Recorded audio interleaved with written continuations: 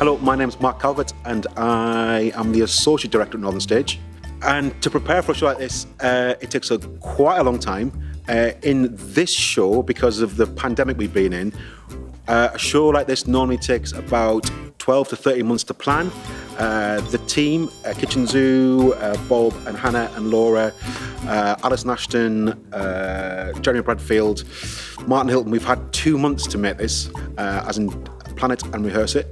Um, and to be honest with you, um, it, it's really interesting to see what's come out of it because we've had to work quite quickly uh, compared to what we normally do.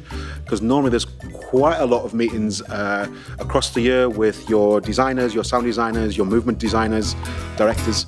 and, um, and we try to do that within uh, six weeks.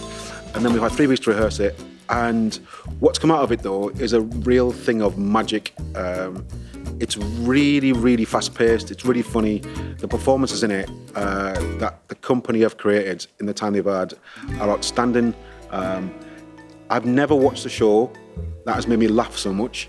And I really genuinely think that after the year we've had, that The Emperor's New Clothes is a really good way to end the year. Have a laugh with your family and have some lovely times.